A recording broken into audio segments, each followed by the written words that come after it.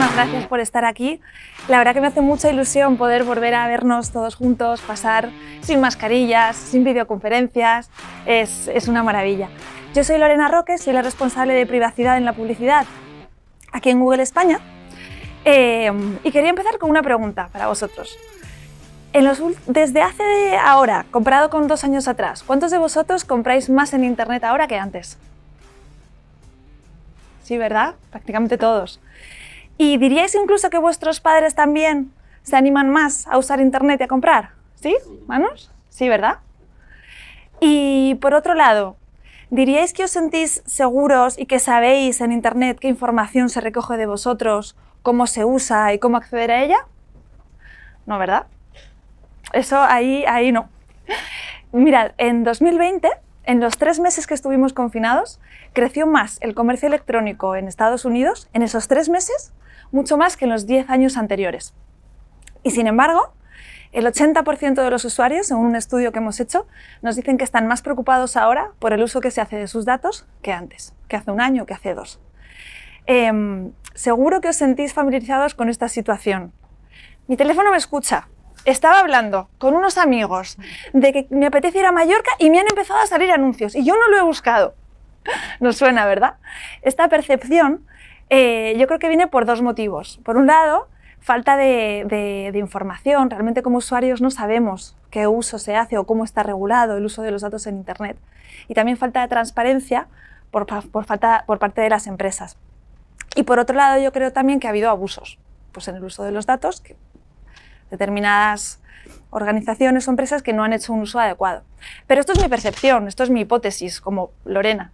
Pero nos parece fundamental realmente entender cuál es el panorama, qué es lo que está pasando en España, qué es lo que piensa el consumidor. Y por eso, cuando Flat nos propuso hacer este estudio, nos pareció muy interesante hacer, esta colaboración eh, para este estudio, entender cuál es el panorama. Eh, en Internet. Em, y os digo también por qué. O sea, lo que está claro es que al usuario hay que protegerlo, que la privacidad es la nueva norma. Y, eso que hemos visto en los últimos años. ¿no? Hemos visto cambios regulatorios, la famosa GDPR, que hace que ahora cada vez que visitamos una web hay un banner de cookies que dice aceptar o configurar. Y solo de aquellos que aceptan podemos instalar cookies y traquearles y entender qué hacer en nuestra web. Y por cierto, en España como se puede poner aceptar y configurar, casi todo el mundo acepta y hay tasas muy altas. Pero ya en Italia o en Francia es obligatorio que sea igual de fácil aceptar que rechazar. Y ahí ya estamos viendo tasas de 80, de 70, con lo cual, ¿eso qué significa? Pues que tengo menos datos con los que puedo operar. Decíamos, cambios regulatorios por un lado y por otro lado también cambios tecnológicos. La deprecación de las cookies de tercera parte, los identificadores móviles, que lo si antes yo tenía toda esta data de todos los usuarios que visitaban, pues cada vez voy teniendo menos. ¿Y eso qué significa para nosotros como marketingianos? Pues es un gran reto, ¿verdad? Porque al final, si yo no tengo cookies de tercera parte, no puedo hacer audiencias. ¿Cómo sé qué usuarios están interesados en mi producto? También, si solo el 70% de los usuarios me aceptan en las cookies y puedo traquearles, ¿cómo sé quién me ha comprado? Me afecta mucho a también cómo medir la rentabilidad de mis campañas y también la atribución. Eh, entonces, al final, pues es como si un cirujano que lleva toda su vida trabajando con sus dos manos, de repente le dicen, ahora operas con una. Claro, tenemos que aprender a hacer las cosas de forma diferente. Pasamos de un mundo en el que íbamos casi al usuario uno a uno a un mundo que es agregado, anonimizado y modelado. Y esto supone un gran reto, pero como somos optimistas, queremos verlo como una oportunidad también, de aprender a hacer las cosas de forma diferente, pero mejores. La visión que tenemos en Google es, gracias a la tecnología, poder seguir facilitando que el ecosistema de marketing digital, como lo conocemos hoy en día, siga funcionando, donde el usuario puede navegar por Internet y encontrar el contenido que él quiere de forma gratuita, pero eso sí, de forma eh, consentida y siempre sabiendo qué uso se va a hacer de sus datos. Por otro lado, que los publishers puedan seguir monetizando su contenido y que las empresas puedan seguir encontrando a sus consumidores en Internet. Yo al final pongo un ejemplo que, me parece que se entiende bien, que es pues la transición hacia los coches eléctricos en España. Hace 10 años, en España, todo el mundo, pues la mayoría del parque móvil era diésel. Cuando surgieron los coches eléctricos, no nos gustaban, eran muy caros. Tenía que instalar un enchufe en casa que costaba 7.000 euros. Si quiero ir de aquí a Málaga, no puedo llegar, tengo que ver dónde parar a cargar la batería. no nos convencía. Pero luego, con el paso del tiempo, la tecnología fue mejorando, también nosotros nos hemos ido acostumbrando y a día de hoy la mayoría de los coches que se venden en España son eléctricos o híbridos. Nos siguen cumpliendo la misma función, desplazarnos, pero además no contaminan el medio ambiente y para los que seáis de Madrid, pues oye, puedes aparcar en zona azul y zona verde sin tener que pagar, que está bien también. Entonces nos cumple esa misma función, pero oye, de forma mejor. ¿Cómo creemos que se puede hacer y cómo lo estamos haciendo desde Google? Pues con tecnología. Y estamos trabajando principalmente en tres áreas. Una, toda la inversión y todo el desarrollo para tu first party data, tu data de cliente, que es tu data más valiosa y ventaja competitiva. Por otro lado, suplir con tecnología todo aquello que no puedo medir, y tenemos múltiples productos y soluciones pues, para modelar conversiones, audiencias predictivas y para activar esos datos con Machine Learning. Y en tercer lugar, el desarrollo, quizás habéis oído, de Privacy Sandbox, desarrollando, pero eso está en progreso todavía, no es nada que podamos activar hoy, el desarrollo de APIs de, tecnología que son respetuosas con la privacidad y que no estén basadas en cookies, para pues tratar de hacer algunas de estas funciones. Ese es el mundo hacia el que vamos. El 1 y el 2 que he dicho, datos de primera parte y tecnología, lo podemos hacer hoy y os animo a que empecéis eh, hoy mismo. El resto será el futuro. Pero el punto de partida para todo eso, y pues estamos aquí hoy, es entender qué piensa, cómo se siente, qué, percepción tiene el usuario de Internet en España. Así que sin más, lo paso a Sandra y a Ricardo para que nos contéis las conclusiones del estudio que estamos deseando. Muchas gracias.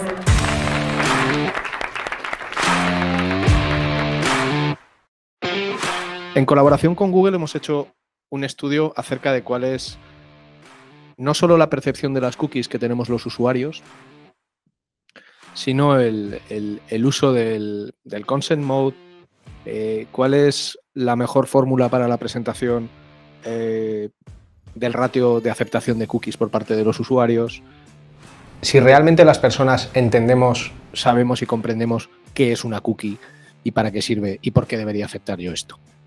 Al final, el, tema de las cookies es bastante complejo porque cuando hablas de cookies en realidad estás hablando de un problema legal de fondo que es el respeto a la normativa en lo relativo al tratamiento de, los datos que en Europa consideramos privados, que en Estados Unidos tienen otra consideración y de ahí viene todas estas resoluciones que estamos viendo, tanto en la Agencia Española de Protección de Datos como en otras agencias similares que están asociadas a, a CPD, a la Comisión Europea de la Protección de Datos. Seguro que muchos habéis leído pues, estos artículos de Google Analytics está prohibido en Francia, eh, cosas de este estilo, ¿no? En realidad ahí lo que hay de fondo es un problema legal del año 2000 al año 2015 hemos vivido con el acuerdo de Puerto Seguro, donde más o menos la transferencia de datos estaba garantizada. A partir del año 2015 aparece la primera versión del escudo de privacidad, que tiene un nombre molón, escudo de privacidad. El escudo de privacidad también fue eh, eh, abolido. Ahora hubo otra nueva versión y desde el año 2020, cuando se aprobó el Cloud Act en Estados Unidos, pues es, complejo transferir datos europeos a, a, Estados Unidos. Y en paralelo apareció el Reglamento General de Protección de Datos, que todos conocemos, y que es la razón de que haya que hacer una aceptación expresa, eh, consentida, conformada y entendida de las cookies. Todos los que estamos aquí entiendo que llevamos bastante tiempo en el mundo digital y sabemos de la importancia que tienen las cookies en cualquier estrategia de medición o de marketing. O sea, para nosotros es clave poder tener datos de los activos digitales sobre los que trabajamos, porque sin datos es muy difícil tomar decisiones. No tienes eh, percepción de lo que está sucediendo en un sitio web o en una app. Pero, ¿qué sucede con el eh, usuario? Bueno, básicamente esto es un resumen de cómo hemos trabajado.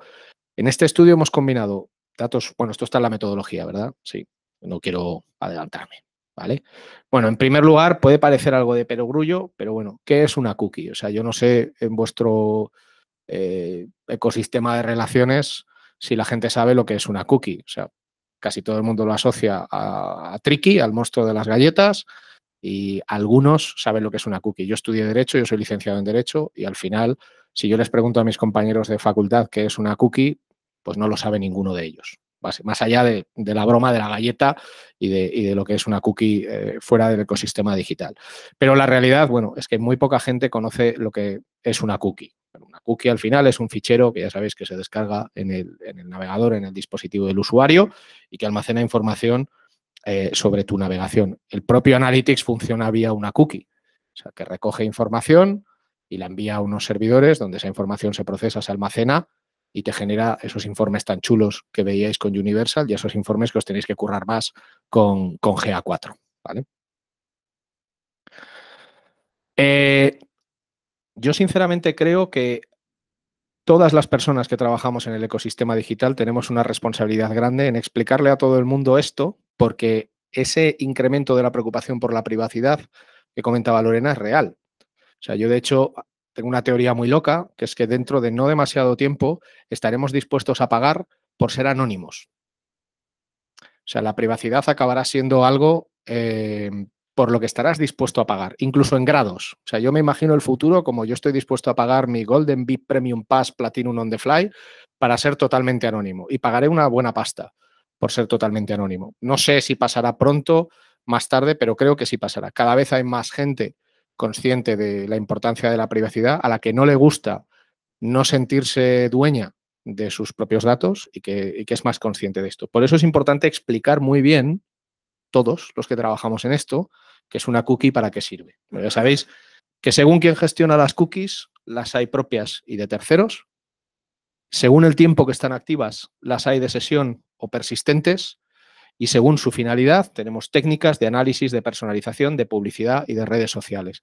Y con todo esto, claro, te salen unas combinatorias que explícaselas tú a tu madre en la cena de Nochebuena, ¿no? O sea, mira, mamá, esto es una cookie propia persistente de análisis, ¿qué te parece? Y tu madre, pues, ha entrado ya en modo siesta eh, de, manera, de manera urgente.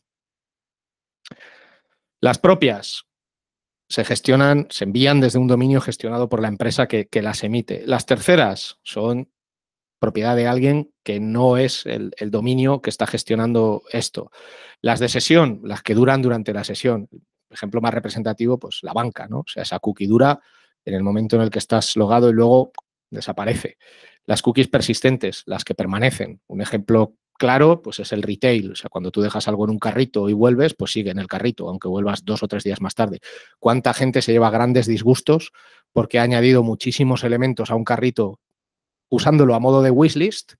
Vuelve dos semanas más tarde, ahí va, y aquello se ha borrado, ¿no? Pues drama.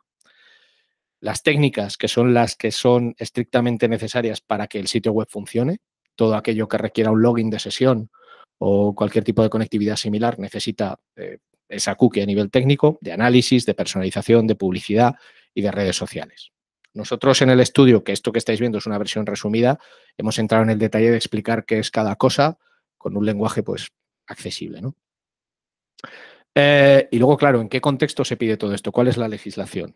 Bueno, ¿vale? O sea, en España tenemos un organismo que regula la privacidad, que es la Agencia Española de Protección de Datos, la AEPD. Somos el país de Europa que más sanciona en, materia de, en materia de protección de datos. No somos el país que más recauda, pero sí el que más, sí el que más sanciona. Porque la normativa de protección de datos no solo afecta al ámbito digital. Colocar una cámara en tu establecimiento y que grabe un trozo de la calle, pues eso ya, eh, si no avisas, ya por ejemplo estás vulnerando el, el Reglamento General de Protección de Datos. ¿vale? por poner un ejemplo. ¿Qué nos dicen nuestras obligaciones legales? Que hay que ser transparente y que tienes que obtener el consentimiento de manera expresa. ¿Qué hay que incluir en la política de cookies? La definición y la función, qué cookies vas a utilizar, quién utiliza esas cookies, la información sobre la forma de aceptar, denegar o revocar y si se da el caso, pues cómo funciona la transferencia de datos en caso de que las haya. Y luego el periodo de conservación de las cookies. Y en España, básicamente, tenemos tres tipologías correctas de aceptación. ¿vale? Esto es tremendamente importante para la mayoría de los players digitales porque en función del ratio de aceptación de cookies que tú tengas, tendrás más o menos datos. Y cuantos más datos tengas, pues en teoría mejor, ¿no? Bueno, digo en teoría porque ya sabéis que en las organizaciones hay toneladas de datos que luego generalmente nadie utiliza. Se quedan ahí en unas sábanas de, de Excel. El aviso de aceptar, que aquí el truco está en que, que alguien utilice el site o la app sin haber hecho clic en aceptar no habilita que le puedas colocar las cookies. Aceptar o rechazar son dos opciones muy sencillas, o aceptas o rechazas, y configurar o aceptar. Aceptar, evidentemente, aceptas las cookies y configurar, gestionas tú aquellas cookies que vas a aceptar y cuáles no. Eh, son los tres modelos aceptados en España. con diferentes grados de eficacia en, el, en el consent cookie que veremos después. Y este es un tema interesante, así como los literales. O sea, parece mentira lo que podemos llegar a jugar con aceptar y rechazar. Sandra os cuenta cómo, hemos hecho esto. Sí, perfecto. Muy bien, pues ahora os mostramos em, cómo hemos eh, realizado el, el estudio. Obviamente, como nos ha adelantado Lorena, queríamos combinar datos cuantitativos, es decir, ratios de aceptación de cookies en sites españoles, y esos los hemos eh, traído, si quieres ponme la siguiente que se ve muy bien gráficamente, esos los hemos recogido a través de la colaboración con Didomi, que como sabéis es un CMP para aceptación de, cookies. Entonces tenemos datos cuantitativos reales de sites españoles de diferentes sectores. Luego os mostraremos los, los datos. Y esos nosotros los hemos validado eh, para ver si nos encajaban o no con los datos de clientes que nosotros tenemos eh, porque trabajamos con ellos en FLA 101. Los datos de nuestros clientes no están en el estudio, pero sí que nos han servido para decir, bueno, viendo los datos de Didomi, ¿encajan estos datos con los que yo veo en mis clientes? Sí, podemos, podemos validarlos, ¿vale? Ha sido un, primer check que nosotros hemos realizado. Esto está muy bien y veremos los datos, ¿vale? De aceptación de esas tres tipologías de banner, pero nosotros queríamos mezclar esta información con otras dos cosas. Con datos cuantitativos eh, acerca de una encuesta realizada a 501 usuarios y aquí lo que hemos hecho es poner a examen a la población española. Les hemos hecho un examen para ver si saben o no saben todas esas cosas que Ricardo nos acaba de explicar acerca de las cookies. ¿Qué nota sacamos los españoles acerca de las cookies? Eh, hemos hecho eh, la encuesta a edades comprendidas entre 18 y 65 años, porque también queríamos ver ¿no? si hay diferencias entre el público joven conoce más esto que es temas de Internet y la gente pues, más mayor no se entera, ¿no? Queríamos ver si ese, si ese sesgo o esa hipótesis se cumplía. Y luego hemos realizado eh, test con usuarios, con 18 usuarios, en el que les poníamos a navegar en una web y veíamos qué hacían con el banner de cookies sin decirles que lo que nos interesaba era lo que iban a hacer con el banner de cookies, sino que entrábamos a la web de un banco y le decíamos que realizara una tarea relacionada con el banco. Por lo tanto, para realizar la tarea tenían que hacer algo con ese banner que les tapaba la pantalla. Entonces, primero, eh, os puedo decir, os puedo adelantar, que ignoraban por completo el banner de las cookies, hacía lo que cada uno tenga asumido como acción por defecto e iban a realizar la acción. Y cuando realizaban la acción, normalmente en un test de usuario Tú dejas que el usuario haga su tarea y luego al final es cuando le haces las preguntas, porque has hecho esto, qué te ha parecido, bla, bla, bla, Entonces, en lugar de hacerle preguntas acerca de la tarea que había realizado en el banco, le decíamos, ¿por qué has cerrado inmediatamente el banner de cookies? ¿Eh? ¿Cómo? Eh, ¿Lo primero que ha salido? Sí. Vamos a hablar de esto. Vuélvelo a abrir. Ábrete una sesión en incógnito y vamos a ver qué has hecho aquí. Entonces era cuando él em, ponía, nos razonaba qué había hecho de manera inconsciente con ese banner, que podía ser rechazar, configurar o aceptar, pero queríamos saber el por qué. Entonces, les observábamos y luego hacíamos que racionalizaran todo el proceso que habían realizado.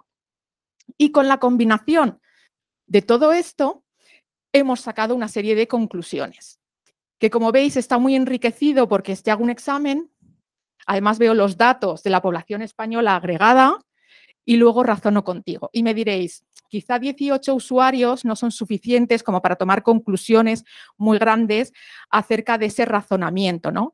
Bueno, pues en, los test de usuario, en una técnica cualitativa de test con usuarios, solamente necesitas 5 usuarios para encontrar más del 85% de problemas de usabilidad de una interfaz.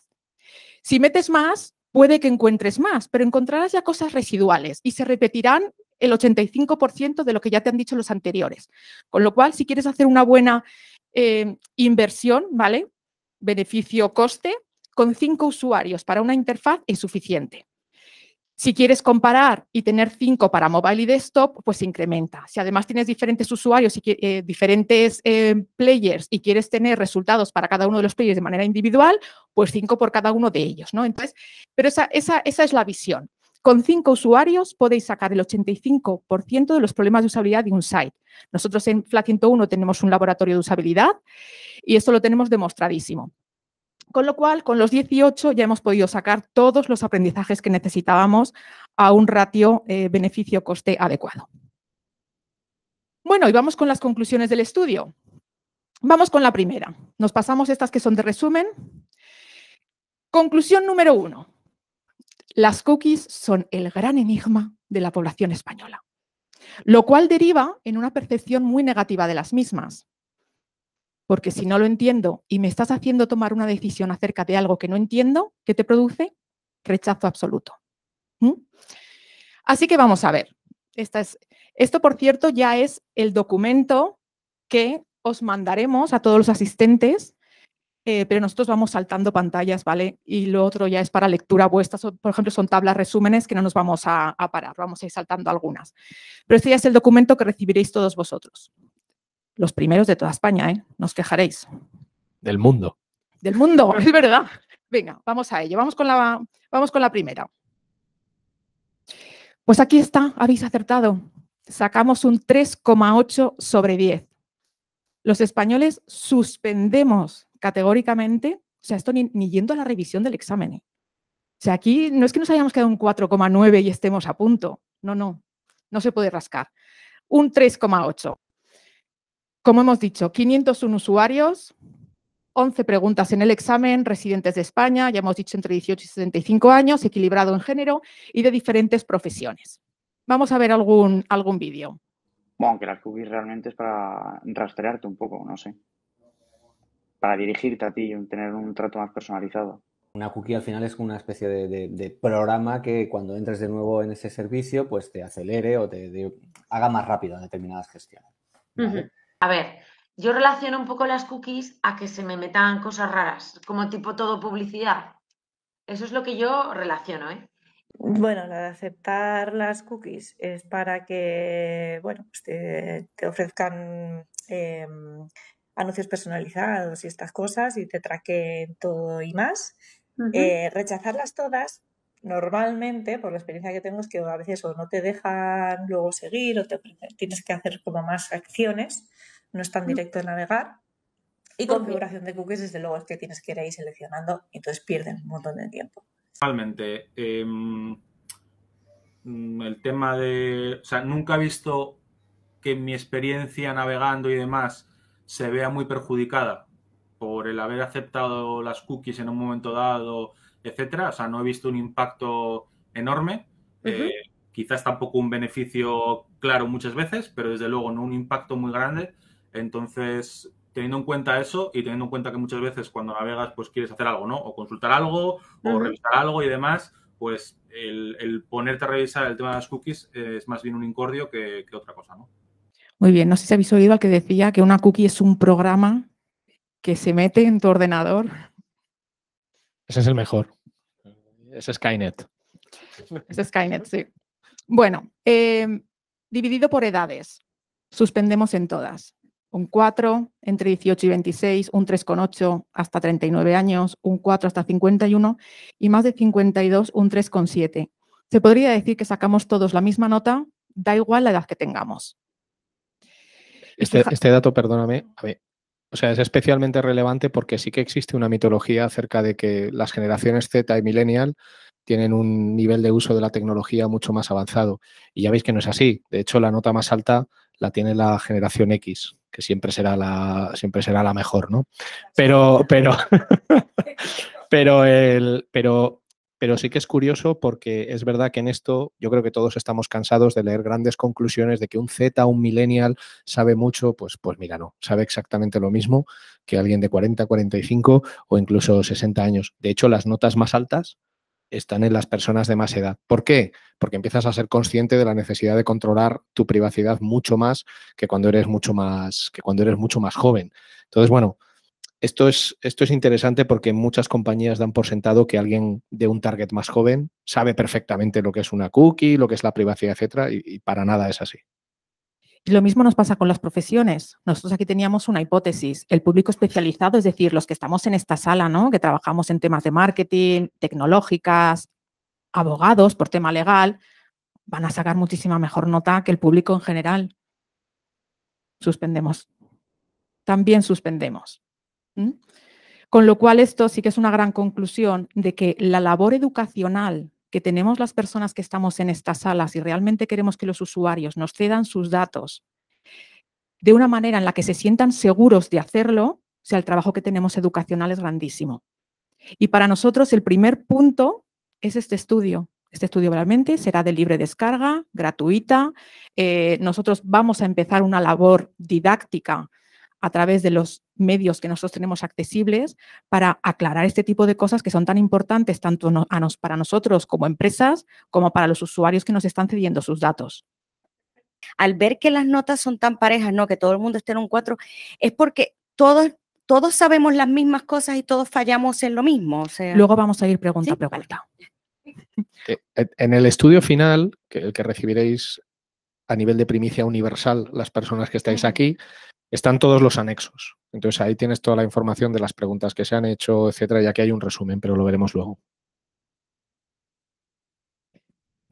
Eso es. Pues aquí tenemos la pregunta ¿no? que, nos, que nos llama mucho la atención. ¿Sabrías decirnos qué es una cookie para ti? Bueno, pues el 24,1% ha aceptado. Ha acertado. Y fijaos que más de la mitad es, nos ha contestado que es todo lo que se guarda en el historial de navegación de tu dispositivo. ¿Mm?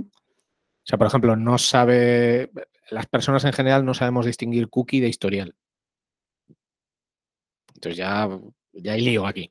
O sea, es, o sea, de hecho, la mayoría cree que una cookie básicamente es el historial de navegación. Es lo que permite que tú en tu navegador tengas un, tengas un historial.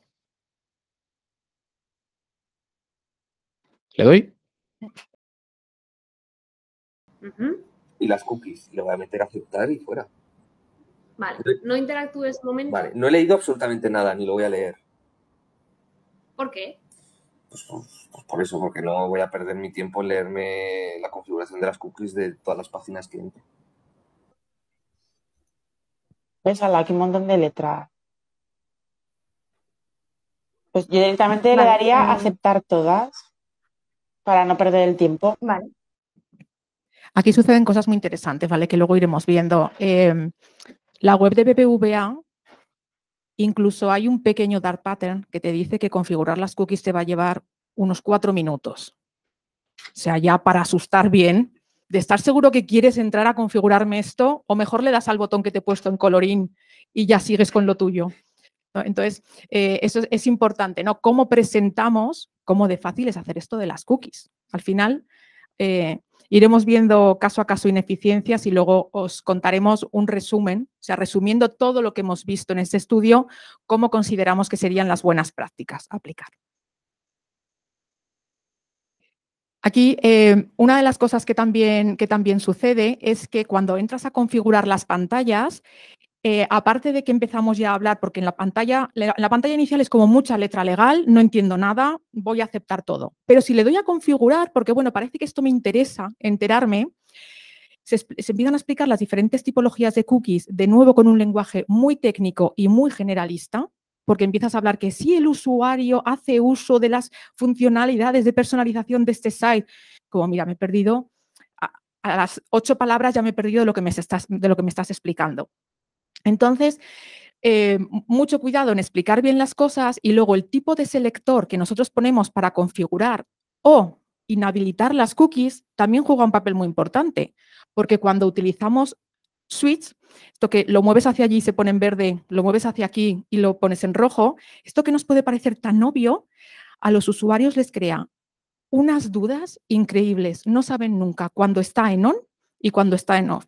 ¿Nos habéis visto luchar al principio con el mando para pasar las diapositivas? Bueno, pues se nos había olvidado ponerlo en on, ¿no? Y es lo mismo, girar o volver. Bueno, pues los usuarios como, no sé si ahora que está en verde es on o en verde es que le da, bueno, unas dudas que no os podéis ni imaginar, con lo cual no es el interruptor adecuado para este tipo de configuraciones. Aquí, por ejemplo, BBVA lo hace muy bien. Una pone permitir, rechazar. No hay lugar a dudas. O un simple check. ¿Cuáles permites? Esta, esta no y esta sí. O sea que hay que tener mucho cuidado con la configuración. El naming de los botones. Por ejemplo, un usuario, guardar configuración y permitir todas. Los dos me parecen lo mismo. No te dice explícitamente configurar tus cookies o algo así. Puede ser simplemente más info. Hay veces que también ponemos personaliza tus cookies y luego cuando entras a personalizar te dice aceptar configuración. ¿Pero era personalización o era configuración? Y hablamos de personalización y luego le dices, hay unas cookies que son para personalización. Ah, ¿estas son las que tengo que personalizar o son todas las del listado? Entonces, muchísimo cuidado con cómo describimos las cosas, porque de verdad que cuando les pedimos a los usuarios, ahora vuelve al banner y lee bien y dime que entiendes, no entienden nada. Y este es el principal problema, no entienden nada. Bueno, de hecho, en este ejemplo de fluchos, aquí dice permitir todas las cookies. ¿Os acordáis cuando hemos hablado de las modales típicas? Era aceptar, rechazar. O sea, permitir todas las cookies, mostrar detalles. ¿Mostrar detalles de qué? bueno, igual que aquí, permitir todas, rechazar todas, guardar configuración y, y, seguir. Antes comentábamos, Sandra y yo en el tren, viniendo hacia aquí, que por ejemplo, un gran problema que no beneficia a nadie es la absoluta falta de un criterio homogéneo a la hora del diseño de la aceptación. Es decir, cada compañía llama a los literales como le da la gana. O sea, aceptar, admitir, consentir, eh, rechazar, más detalles. ¿Cuál es el problema? Todos a lo largo del día navegamos por un montón de sites y de apps. Cada uno utiliza su propia nomenclatura para la misma legislación bajo los mismos marcos. Entonces, ahí hay un problema grave de comprensión. Es como si en un e-commerce, en lugar del botón comprar, en unos te pusiera comprar, adquiere, seguro que quieres adquirir, corre, corre, que me lo quitan de las manos, o 400.000 eh, literales que queráis utilizar. Pero esto es un grave problema que se ha acabado convirtiendo en un dark pattern, en un patrón oscuro, que al final es una forma de manipular el comportamiento del usuario para que haga algo que en realidad no quiere hacer. Entonces, estamos aprovechándonos de la sobrecarga cognitiva y estamos aprovechándonos del uso de un lenguaje excesivamente técnico para deliberadamente confundir al usuario y que haga aquello que a lo mejor no quiere hacer. Es más, esa es una declaración de los usuarios. Los usuarios aceptan a pesar de que no quieren hacerlo. Lo veremos más adelante. Sí, bueno, este es otro ejemplo, ¿no? Que se viene grabado ya cuando vas al más información, las tablas, que ojo, que hay que ponerlas, ¿eh? Y que tiene que estar todo muy bien descrito y tiene que estar, pero es que ya el nivel de confusión al que llega un usuario cuando ya empieza a navegar en el nivel de detalle de la explicación técnica y legal de todo esto, eh, ya llega a límites insospechados. Ya es como, ¿ves? Cómo tenía que darle a aceptar todas y no llegar hasta aquí, que no entiendo nada. En el fondo aquí lo único que sucede es que replicamos un comportamiento de, mundo físico. O sea, tú cuando vas al banco y tienes que firmar según qué contratos, generalmente te ponen unos papeles delante que nadie se lee, como sucede con los avisos de cookies, y los firmas. Lo que sucede es que tú tienes un elemento de confianza, confianza entre comillas delante, que es la persona del banco que te está atendiendo. Esto no existe en el entorno digital. O sea, es o confío o no confío. Sí que hay elementos de confianza que salen más adelante que ayudan a que alguien, aunque no entienda el mensaje, acepte las, acepte las cookies. ¿Por quién me está poniendo las cookies?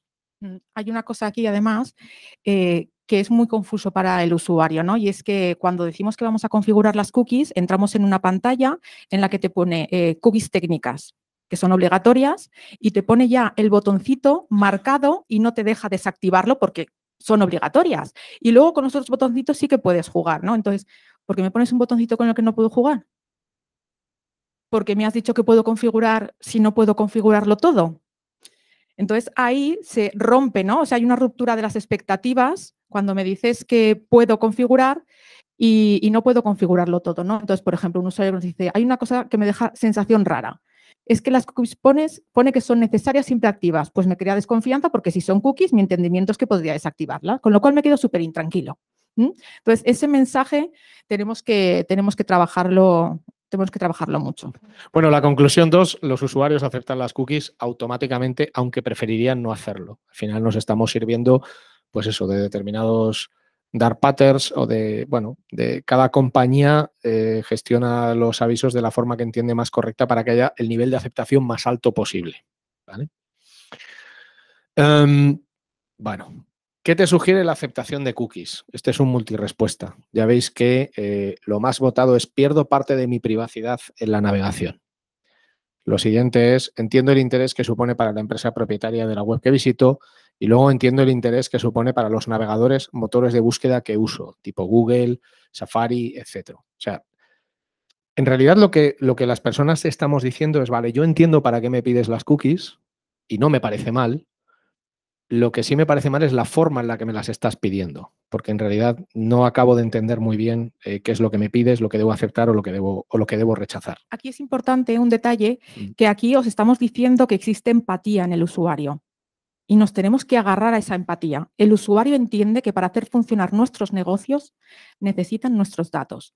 Lo que no hemos trabajado bien en estos banners explicativos, en estos modales, es el principio de reciprocidad. Si yo si tú me das a mí tus datos, ¿qué te doy yo a ti a cambio? Y si estamos hablando que no vas a perder los, los productos que hayas metido en favoritos, que vas a poder eh, mantener la sesión logada, pero todo eso lo contamos tan genérico y nada en particular que el usuario no entiende qué me estás dando a cambio, porque de nuevo copiamos los textos que nos vienen por defecto en el módulo que hayamos, eh, que hayamos instalado en nuestra web y aunque sea propio, cogeremos los textos que suelen usarse en el sector y no le estamos diciendo al usuario, si aceptas esta cookie, no perderás los productos del tu wishlist, tu sesión se mantendrá logada, etcétera.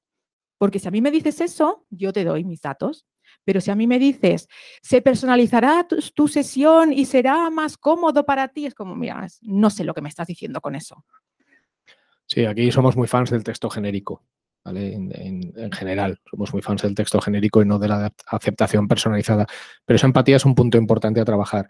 En realidad, los, los, las modales de aceptación de cookies están llenas de dark patterns. Eh, sneak into basket, pues sabéis que aquí se dice todo en inglés, que suena mucho mejor. Eh, básicamente todas las opciones que ya están premarcadas por defecto para que tú te limites a aceptarlas y no tengas control de aquello que estás aceptando no. Lo que se llama Roach Motel, que es el hotel de cucarachas, que al final es meterte en una complejidad de información tan grande que finalmente aceptas para ahorrarte el sufrimiento que supone intentar salir de ahí bueno, y, otros, y otros múltiples, eh, otras múltiples técnicas. Fijaos, os hemos dicho que nosotros, eh, con las conclusiones de este estudio, nos hemos replanteado cómo debería ser un banner recomendable y os lo diremos al final, ¿no? Em, nosotros hemos trabajado también los textos para que sean directos, para que al usuario le expliquemos exactamente con esta cookie que te estamos pidiendo que nos des, qué vamos a sacar nosotros a cambio. Y nos pasó una cosa, que aquí tenemos a Mitchell, nuestro compañero que estará a vuestra disposición cuando salgamos, compañero de FLAP, por favor, saluda gran experto en el tema. Cuando estuvimos trabajando esos textos, nosotros vimos que teníamos tres tipologías de cookies que, podían configurarse, ¿no? Y cuando quisimos trabajar mejor el texto para decir, oye, las cookies de personalización, ¿para qué las usamos en la web de Flat? Vamos a decirle al usuario para qué exactamente las utilizamos, para que quiera darle a conectar. ¿Sabéis qué sucedió? Que no las teníamos, ¿verdad, Michelle? Y entonces lo quitamos, ya no hace falta configurar tres, solo dos.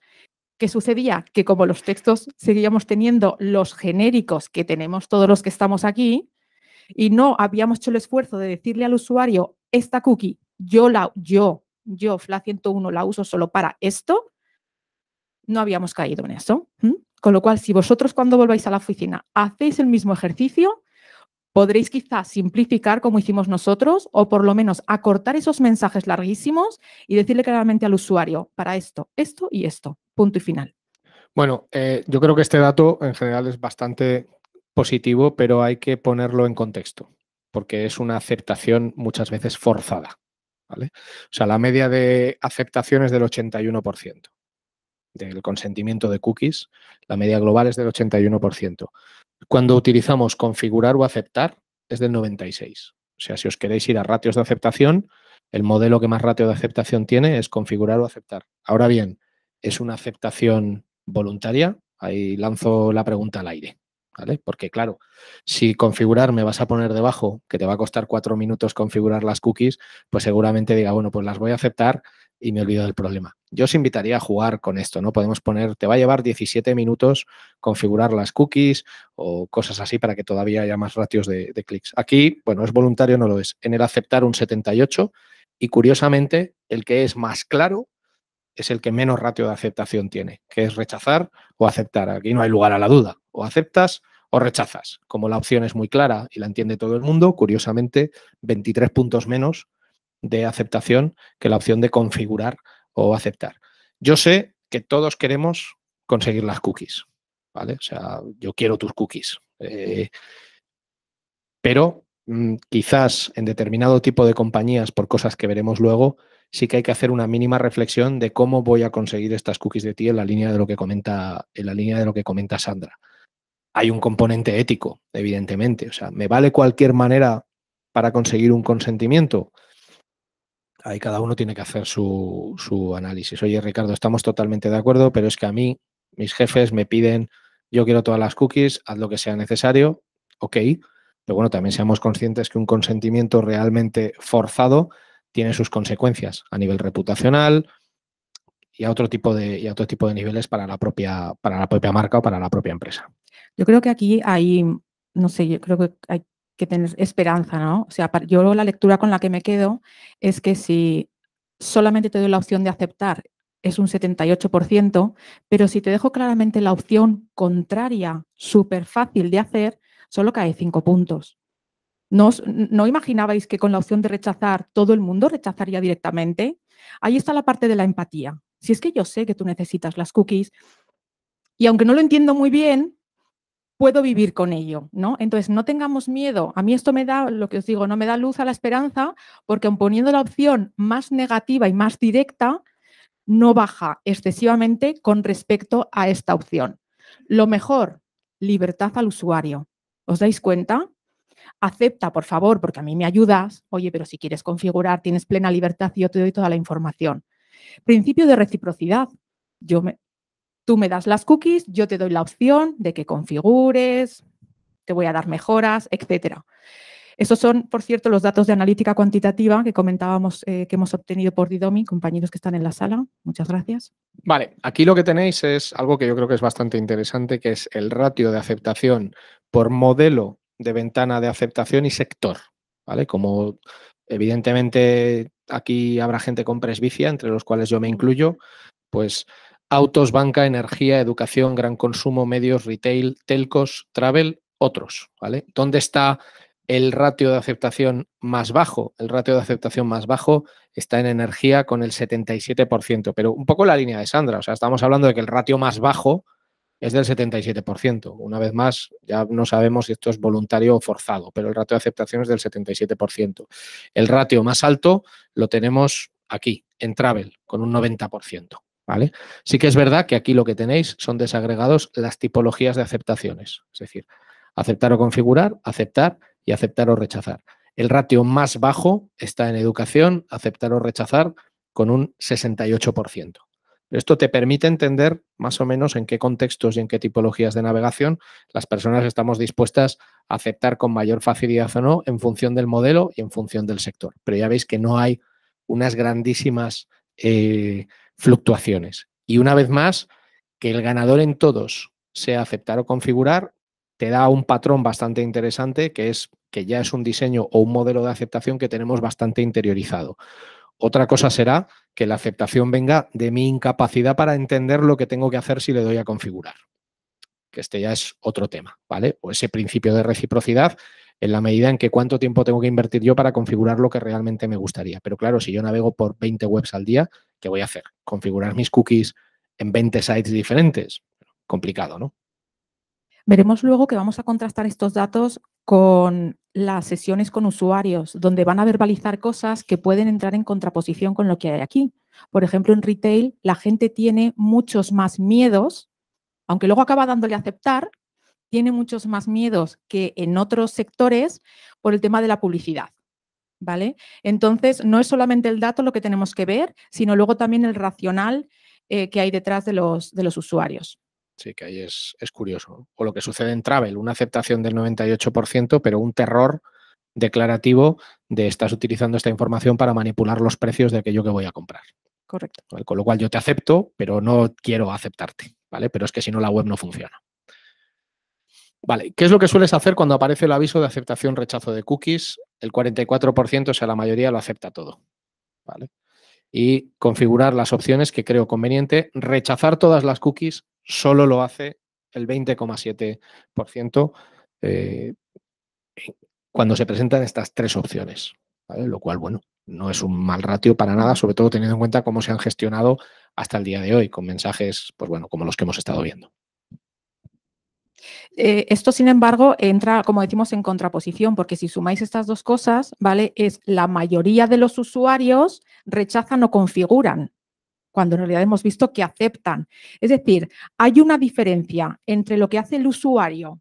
¿Os acordáis que, eso que le hemos dicho? Entras en, una eh, en un banco y hemos dicho, eh, contrata una cuenta nómina. Aceptan todo y se van a contratar una cuenta nómina. Y luego le dices, vale, vamos a ver lo que has hecho con el aviso de cookies. Has aceptado todo, que es la métrica de IDOMI. Has aceptado todo. ¿Qué harías? Y entonces viene el racional. Yo configuraría, ya, pero no lo has hecho. Yo rechazaría porque tengo miedo, ya, pero no lo has hecho, ¿sí? Entonces, por eso nos gusta combinar todo, porque una cosa es lo que hacemos de manera instintiva y otra cosa es, si supiéramos lo que estamos haciendo, ¿qué me dice mi racional que tendría que hacer? A mí me recuerda cuando la gente firmaba contratos de préstamo rápido, donde no miraba nunca el tipo de interés y luego se escandalizaba, ¿no? Es que me estás cobrando un 20, ¿no? Si lo ponía en el contrato, ya, ya, pero es que no, no me lo leí. Pues es lo mismo en un ecosistema digital. Vamos a ver este par de literales. Tienda oficial de fluchos. Y un poco seguiría, o sea, esto es algo un poco el, el modo superandi que tengo siempre en cualquier web. Es decir, hombre. ¿Recuerdas cómo has interactuado la primera vez con este banner? Eh, un poco, si no recuerdo mal, creo que hice exactamente lo mismo, es decir, permitir todas las cookies, no le di más importancia por lo que te decía, porque ya estaba, había buscado fluchos en Google. Mm, mm. Y tal, eh, lo que quiero es quitarme esto de encima. Entonces, es que me da igual aceptarlas que no aceptarlas. Que, O sea, lo que no quiero es ver el banner. Con lo cual, si para no ver el banner tengo que aceptar, acepto. Bueno, no hay nada que decir, ¿no? O sea, lo que quiero es quitarme el banner de encima. Entonces, si para quitarme el banner tengo que aceptar, acepto. Entonces, mira, ya tenemos otra técnica. Pongamos un banner que tape toda la pantalla absolutamente y ya está, ¿vale? ¿Cómo preferirías ver las opciones que se presentan en el aviso de cookies? O sea, una vez más, la diferencia entre el declarativo y lo que realmente se hace. Dos opciones, aceptar o rechazar, es la más votada, seguida de aceptar o configurar. O sea, lo que las personas no queremos tener es la sensación de no tener el control. Por eso, la sensación de no tener el control. Por eso, aceptar solo tiene un 9,5%. O sea, la opción de enséñame solo aceptar un 9,5%. Motivos de preferencia por aceptar o rechazar, que es la más votada. Poder de decisión y conocimiento es lo más votado y facilidad de uso e interacción. A mí este segundo me parece interesante porque al final lo que las personas estamos diciendo es yo puedo entender la acción de aceptar y puedo entender la acción de rechazar. La acción de configurar me cuesta más entenderla, porque al final tengo que perder un tiempo en hacer algo que además no es amable, no es agradable, en un lenguaje eh, complejo. Si no es obligatorio, no sé si aporta mucho a un usuario, porque, porque, porque es que, ¿qué vas a hacer? ¿Rechazarlas? Y decir que no, siempre, siempre te crea, bueno, a ver si no puedo comprar bien, a ver si, si pues, dejo de ver productos por, por haber rechazado las cookies. Entonces, pues te lo crees, le das y, y ya está. Eh, porque inconscientemente crees que si le das a denegar, como es lo primero que te sale, eh, te va a impedir entrar. Pero claro, no tendría lógica. Porque estarían perdiendo clientes simplemente por no aceptar unas cookies. Una vez más, la diferencia en frente a lo que decimos y lo que, y lo que hacemos. Y la necesidad ¿no? de educar de nuevo al usuario por esa concepción errónea que tiene de lo que está manejando. Bueno, la conclusión 3. Vemos que existen factores externos, algunos los hemos mencionado, ajenos al propio banner o la modal, que propician una mayor aceptación de cookies. Es decir, no solamente hay que trabajar el modal, hay que trabajar más cosas. Bueno, eh, partimos de, un, contexto en el que las ideas preconcebidas por parte de los usuarios no son correctas y por lo tanto tenemos unos prejuicios y unas, eh, y unas ideas que están totalmente desvirtualizadas de la realidad. Y esta es una de las cosas que tenemos que trabajar, lo que hemos dicho, ¿no? En nuestro banner lo primero que tenemos que hacer es explicar las cosas de manera correcta, fácil y directa.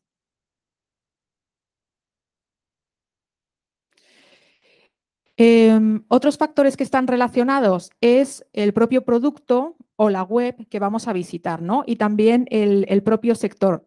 Como hemos visto antes, hay diferentes ratios de aceptación de los diferentes banners en función del, sector. Travel, lo que decíamos, ¿no? Eh, los usuarios tienen una preconcepción de que me vas a cambiar los precios si recuerdas mi visita, porque solamente a los clientes nuevos le vas a aplicar ofertas. Entonces, esa misconcepción hay que rompérsela al usuario. Todo esto lo tenemos que trabajar y cada uno de los sectores juega con un miedo o con otro y habrá que trabajar cada uno de manera individualizada. En este ejercicio al final que hemos hecho en el que os proponemos un estándar de modal que consideramos que recoge bien todas las conclusiones, luego ponemos unas etiquetas específicas para ciertos sectores como diciendo, ojo, si eres retail, Ojo, si eres travel, que a lo mejor tienes que trabajar también estas cosas que no están recogidas en este modal genérico, porque son específicas de las dudas e inquietudes que tienen tus usuarios. ¿Veis? Como hemos visto, ¿no? En el sector de viajes, eh, los usuarios están muy, preocupados por la trazabilidad y entonces van a, tratar eh, de configurar los, cookies y su preocupación son las tarifas y los precios. En el sector de banca como en retail generan confianza al usuario entrar en un BBVA, ¿no? Bueno, pues como no voy a aceptar en un señor BBVA, pues claro que acepto. Es un banco, tratarán bien mis datos, ¿no? Pero veis un poco también como los miedos luego tampoco se reflejan exactamente en los datos, ¿sí? Pero tenemos que tenerlo todo en cuenta porque ahora mismo está siendo una acción excesivamente eh, instintiva y nada racional. Y a medida que la gente empiece a entender más qué es esto de las cookies, será más racional, menos impulsiva.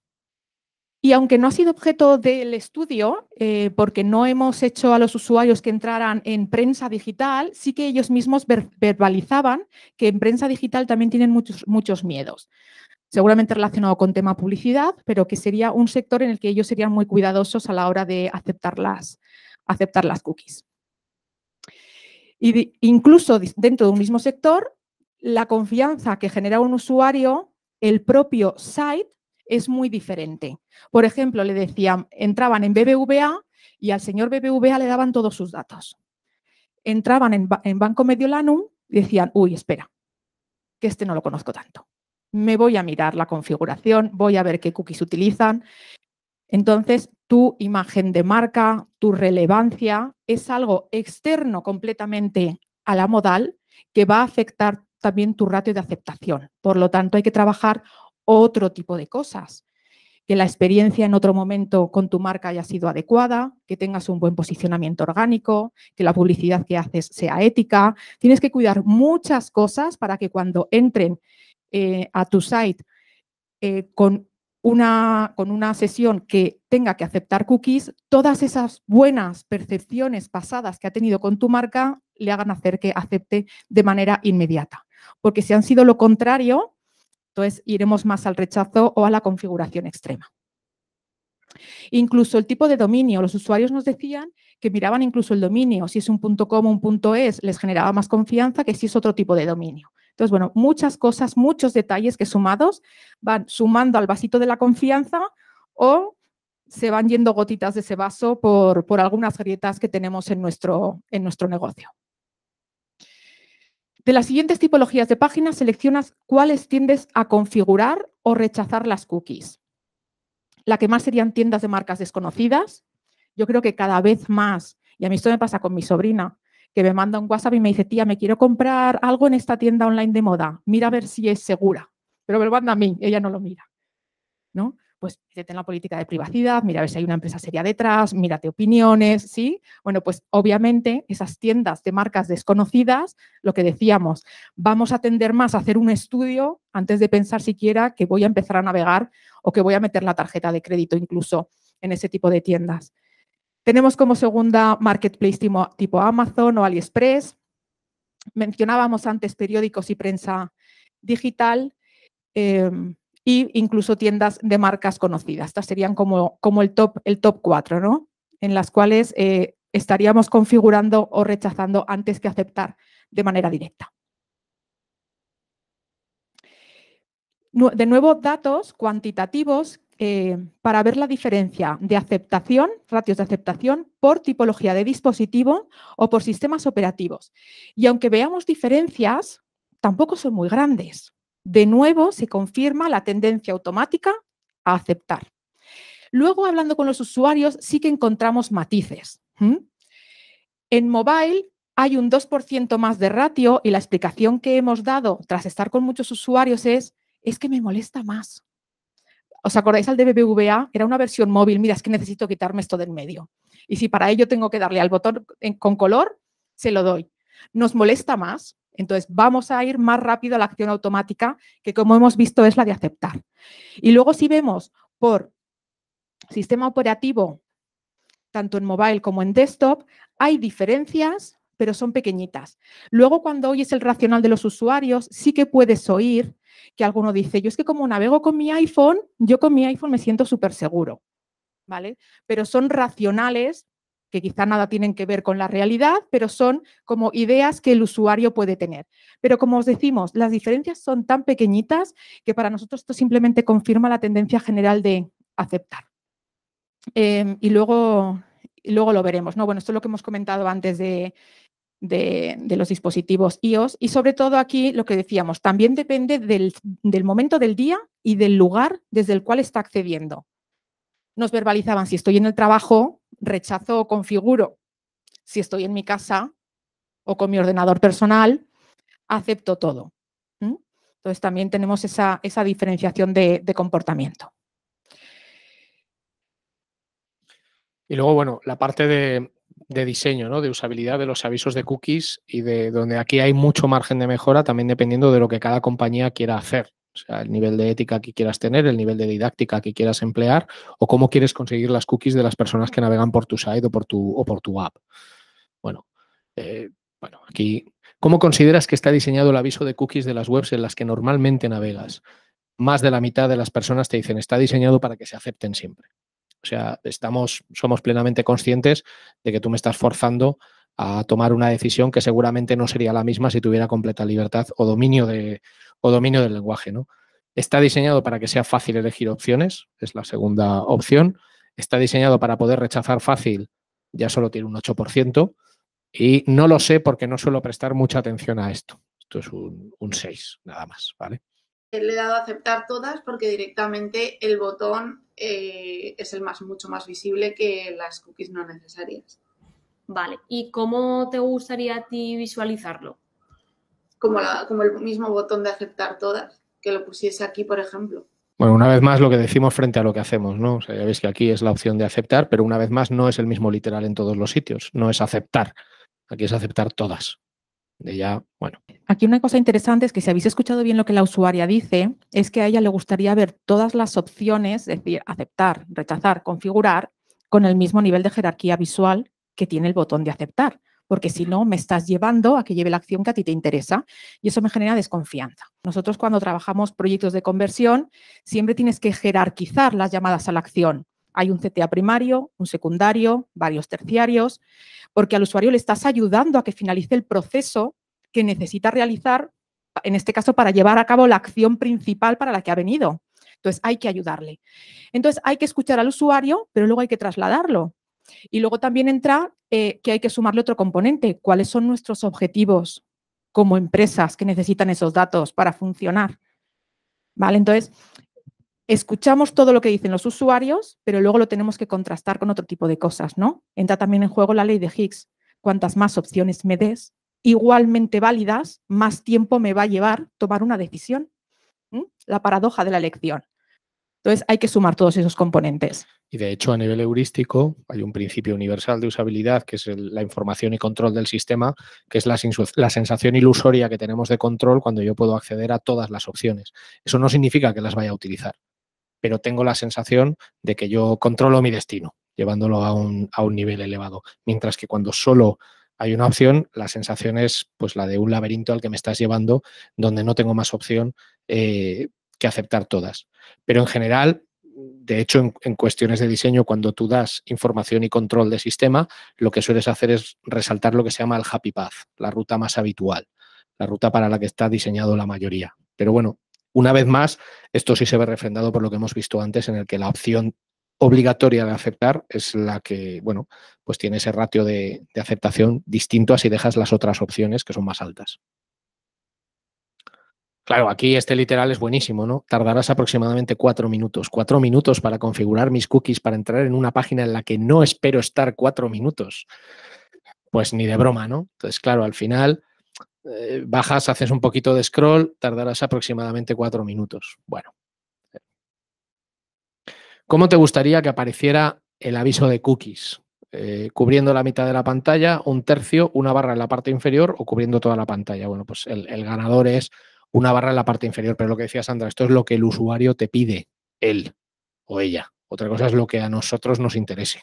que no Si, tiene hu- por qué si ser lo hubiéramos que- puesto una que pusiera que no hubiera banner de Claro, cookies, esa evidentemente. se las hubiera llevado todas, ¿vale? Por eso escuchamos, pero luego con lo que nos dicen tenemos que tomar decisiones con sentido. Exacto. De hecho, si os fijáis en el segundo párrafo, pone desde nuestra perspectiva que vela por la usabilidad, no se recomendaría esta fórmula ya que una barra inferior disminuiría la visibilidad del mensaje y aumentaría la desinformación e incomodidad en la navegación. Muchas veces los mensajes en sticky directamente no se ven. O sea, están ahí, pero no, ni los lees, ni los ves, ni, ni los consideras. Puntuación según tipo de modal. ¿Cómo de claro crees que es el mensaje o contenido de este banner? El más votado es aceptar o rechazar. ¿Cómo de adecuadas con un 6,8? ¿Cómo de adecuadas crees que son las diferentes opciones de interacción que ofrece este banner? El más valorado es aceptar con un 6,4. ¿Cómo de cómodo o cómoda te has sentido interactuando con el banner? En el de aceptar un 7,6, pero aceptar o configurar 7,5. ¿Cómo de seguro o segura te sientes tras haber interactuado con el banner? Curiosamente, tanto aceptar como aceptar o configurar, 7,3, los dos. Bueno, y estas son las puntuaciones agregadas. La nota media es un, un 7,2. Con lo cual, una vez más, el otorgar la capacidad de controlar no eh, minimiza la aceptación que se produce eh, de las cookies con los datos en la mano. Vamos a... Vale. Y luego cuando entro aquí, es que eso siempre hago lo mismo con las cookies, ya verás. Cuando entro aquí, vale, en cuanto me da configurar cookies, como ya veo que voy a tardar más rato, pues las acepto y ya está. Si voy con mucha prisa y no me voy a entretener en lo de las cookies, le doy a aceptar. Vale. Y si me transmite confianza, pues también. Y de hecho, viendo un texto así tan largo, yo creo que no me lo leería. Bueno, al final son dar patterns de manual, ¿no? O sea, al final mucho texto, me lo tengo que leer joque rollo, tengo que hacer un montón de configuraciones joque rollo, pues acepto y ya está. Bueno, la, la pregunta una vez más es, ¿es así como quieres conseguir el consentimiento de las cookies? Hay mucho margen de mejora y aquí, eh, bueno, es simplemente, pero fijaros que simplemente aquí tenéis configurar, aceptar, aceptar todas, configurar cookies, permitir todas las cookies, mostrar detalles. O sea, una increíble diversidad de mensajes para CTAs que deberían de ser bastante comunes. Eh, bueno, aquí importante quería comentar, ¿no? Eh, fijaos en el primer punto, incluso hay banners en mobile que no son responsive. O sea, ya más molestia que esa para el usuario no puede haber. Bueno, esto es un festival cuando tienes que hacer scroll lateral en un aviso de cookies en un móvil. Entonces ya es como, bueno, ¿dónde está el botón de aceptar todas? Me encanta la primera, el primer literal. Esto es una fiesta. Bueno, lo de, bueno, lo de que, se- lo de que esto ya no sea responsive, esto es una fiesta. Bueno, bueno. Hostia. No, me deja hacerlo más. Bueno. A ver, segundo grande. Configuración de cookies. Bueno, quito la, la app. Aquí sí que estoy viendo, no sé si es mi navegador, que en, diferencia con, con el otro, eh, la configuración ya me sale sin tener que hacer scroll. Creo que es porque tengo este roba páginas de, de la app, que si lo quito, vale, sí que me sale la configuración. El primer caso es un banco. O sea, tu modal en un móvil, que es el dispositivo más utilizado en tu ecosistema, ni siquiera se ve bien. Eh, son literales. Aquí lo que, lo que, lo que podéis ver es que bueno, hay, hay mucho margen de, de- de mejora. Switchers que pueden provocar muchos problemas en la selección, sobre todo si los utilizas en móvil, donde al final espacios reducidos, a ver, las guías de accesibilidad de móvil ya te dicen que un icono debería tener 18 píxeles, debería ser un cuadro de 18 píxeles, la mayoría de los casos de uso no lo contemplan, con lo cual manejarte con un dedo en una pantalla táctil en selectores de este estilo pues puede ser bastante complicado. Eh, habilitar y deshabilitar eh, no, no se acaba de entender muy bien porque aquí no figura, pero es que muchas veces los códigos de color no son blanco, perdón, no son rojo o verde. O sea, lo lógico sería que si yo las tengo desactivadas, siempre esté en rojo. O algo que, es, una vez más, es un principio muy sencillo, que es colocar un pequeño literal que es desactivado, activado. Ya está. O sea, ya entiendo si está desactivado activado. Aquí pone siempre activas. Eh, sí o no. Y luego el colmo de la confusión, que no tenemos ningún ejemplo porque no eh, es un dark pattern muy oscuro, es cuando el color del switcher no varía, siempre es gris. Entonces, esto seguro que como usuarios lo habéis visto algunas veces y ya es, ya roza el engaño directo, ya roza el engaño directo, ¿no? De bueno, yo ni siquiera te voy a dejar que sepas si estás aceptando o rechazando. O sea, tú dale para la izquierda o para la derecha, que luego ya haré yo lo que me dé la gana, básicamente. Bueno, luego veis, estos pues, son otros ejemplos. Permitir, rechazar, permitir, rechazar.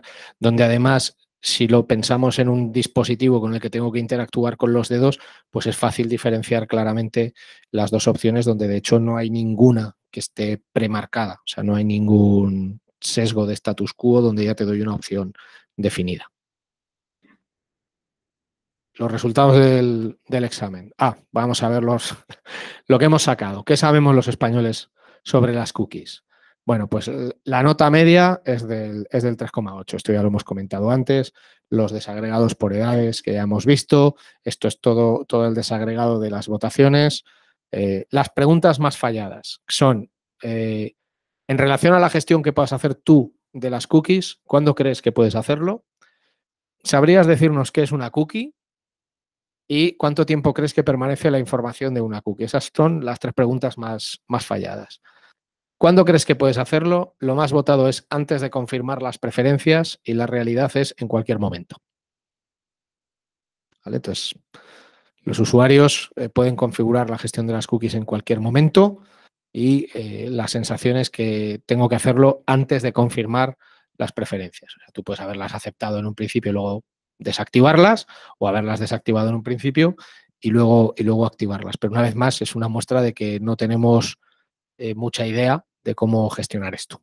También entra en juego cómo de fácil te lo pone el negocio digital para reconfigurar tus cookies, porque hay veces que eres consciente de esto, pero no sabes cómo volver a ese banner, a esa modal. ¿Sabrías decirnos qué es una cookie para ti? La respuesta más común es todo lo que se guarda en el historial de navegación con casi un 60%. La correcta, fragmentos de texto que se te envían al navegador del dispositivo. Como veis en nuestro estudio, como eh, el, primer objetivo que queríamos era educar a todos, toda la población para que ese 3,8 lo hagamos otra vez el año que viene, que lo haremos, y hayamos subido la nota, en el estudio veréis que aquí tenemos todas las aclaraciones teóricas de todas las preguntas que se han hecho con la respuesta correcta. O sea, es un examen corregido, para que lo paséis ahí luego a la gente que queráis que se lo estudie. ¿Cuánto tiempo crees que permanece la información de una cookie, que es opción múltiple? Las correctas son el tiempo que yo decida hasta borrarlas de mi historial, el tiempo que la empresa decida o hasta que ocurra un cataclismo digital. ¿Vale? Pero hay un volumen de votos alto del 27%, es la tercera opción en lo que dura mi visita a una página. Entonces, hay mucho lío, ¿no? Que es una cookie, que es un historial, que es una sesión, porque realmente aquí estás mezclando cookie con sesión. es decir, bueno, cuando se acabe la sesión, se acaba la cookie. Bueno, eso si os acordáis de lo que hemos visto al principio, pasa con las cookies de sesión, pero solo con esas. Y las más acertadas. ¿Cómo crees que son los datos que se guardan con las cookies? ¿Dónde piensas que se pueden almacenar? ¿Y qué finalidad crees que pueden tener las cookies para una empresa? ¿Vale? ¿Cómo crees que son los datos que registran las cookies de carácter personal? Ok, bien, pero ya veis que no estoy seguro o segura, tiene casi un 24%. O sea, no tengo ni idea de qué datos hay en una, hay en una cookie. De hecho, si juegas a asustar a tus amigos que no son del sector digital, puedes hacer que pasen ratos muy malos. ¿no? Oye, que sabes que cuando aceptas las cookies, tú con este navegador tienes tus facturas y pues toda la información financiera se la estás mandando al aceptar las cookies. Esto, si para un día de los inocentes, está bien. O que se te conecta la cámara. o que se te conecta la cámara, sí, sí, eso es eso que, bueno, cuando reciben el mail típico de te hemos grabado haciendo cositas y si no pagas una multa en criptomonedas, bla, bla, bla. Em, preguntas restantes, ¿cuándo crees que se activan las cookies obligatorias? Etc. Bueno, aquí tenéis lo que decía antes Sandra, un anexo con todas las preguntas que se han hecho, los ratios de respuesta de cada una de ellas, etc. Y vamos ya con las conclusiones, ¿no? Con las recomendaciones o con los próximos, o con los próximos pasos. Eh, ¿Qué objetivos nos marcamos? El primero, educar a los usuarios en términos de privacidad. Esa es la gran conclusión que sacamos. Y, esto fue una cosa que queríamos hacer y cuando nosotros hemos recogido, como habéis visto, muchísimos datos, pero cuando nos pusimos a analizarlo, lo primero que analizamos fue que no te hemos sacado, porque el resto de lo que analice se ve totalmente condicionado. Porque si tú no sabes qué es una cookie, ¿qué significado le puedo dar a lo que haces con una cookie? ¿Mm? Es como si dicen, ha aumentado el número de suicidios en Torre Picasso. Y dices, ostras, el dato es malísimo, ¿no? ¿Qué sucede?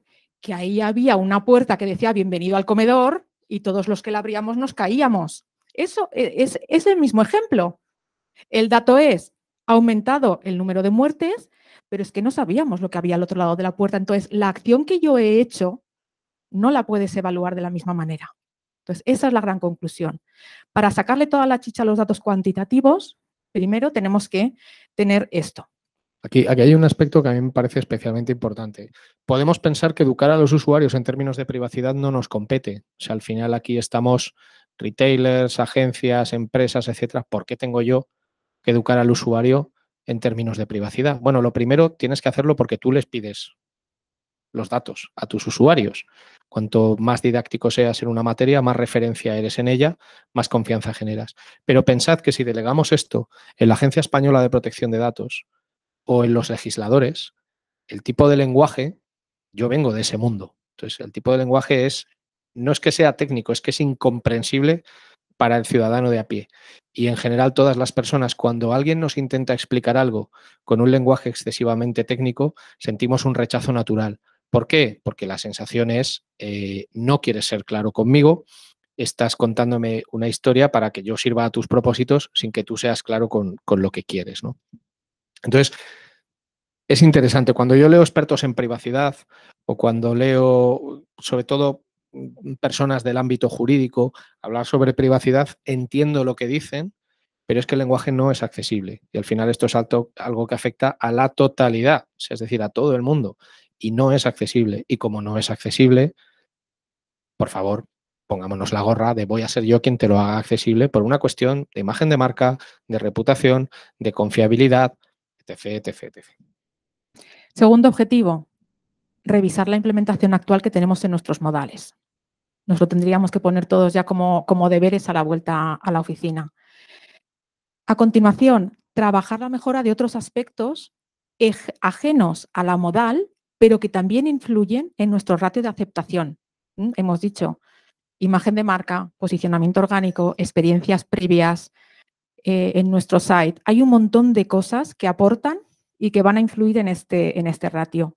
Y por último, desarrollar una estrategia de medición acorde con los objetivos que tenemos en los negocios. ¿no? Tener claro qué ratios de aceptación son los que deseamos obtener, medir todo muy bien, incluso testear cuando hagamos cambios en estos, en estos modales. Bueno, y entonces, como conclusión, obviamente, todo esto lo hemos aplicado, como os hemos dicho, a nuestra web.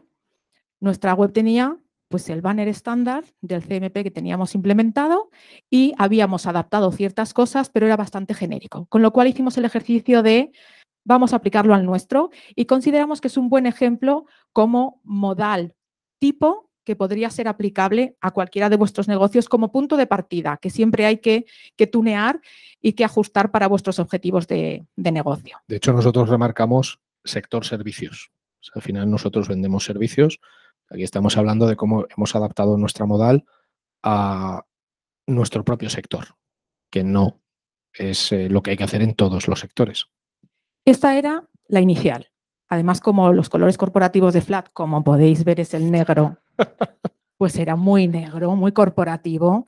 Esto genera una carga cognitiva grandísima para un usuario si tiene que leer unas explicaciones técnicas complejas y legales en un, en, un dispositivo tanto desktop como mobile. Con lo cual, el primer paso fue ya, vamos a pasar al blanco, seamos más didácticos, más limpios, más amigables. De hecho, bueno, no lo veis, pero aquí había seis opciones. Consentimiento, detalles acerca de las cookies, que es información, y a niveles de aceptación, solo usar cookies necesarias, personalizar o permitir todas las cookies, que era la opción primaria. ¿vale? Así lo teníamos nosotros y así ha quedado ahora. Paradoja de la elección que hemos dicho antes, si me pones seis opciones en un tema que no controlo, botón verde y a continuar, que sea lo que Dios quiera. Bueno. Vale. Pues así es como ha quedado finalmente nuestro banner, tanto en versión desktop como en versión móvil, de la primera pantalla. ¿vale? Luego veremos el modal de la configuración. En la web de Flat usamos cookies. ¿Qué es una cookie? Y todos estos textos los hemos simplificado muchísimo con palabras nada técnicas, hablándote de manera directa y por si eres de los que no leen, y hemos oído ¿no? que muchos de los que no leen, te marcamos en negrita las palabras que si solo lees la negrita, ya deberías leerlo. ¿Qué es una cookie? Pequeños fragmentos de texto, navegador para recordar información. Solo os he leído la negrita. ¿Para qué las utilizamos? Fines analíticos. ¿Qué puedes hacer? Aceptar, configurar. Ya está. ¿Para qué te voy a contar más cosas? Si quieres te lo puedes leer todo, pero con las negritas ya está. Perfecto.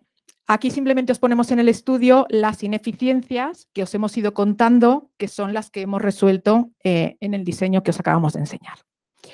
Y aquí cómo hemos ido mejorando cada una de ellas y hacemos alguna llamada a sectores específicos. Es lo que dice, lo que ha dicho Ricardo. Esto funciona muy bien, sector servicios, creemos que podría ser un modal tipo, pero ojo, que en viajes los usuarios se muestran reacios a la aceptación de falsa, debido a una falsa creencia pensar que los precios aumentan, yo, si fuera del sector viajes, lo pondría en primera pantalla. ¿Afecta la aceptación al cambio de precios? No, tengo que trabajar tus miedos, tus incertidumbres, tus dudas, lo primero. Entonces, veamos cuáles son y tenemos que responderlas. Y vamos a ver la pantalla de configurar.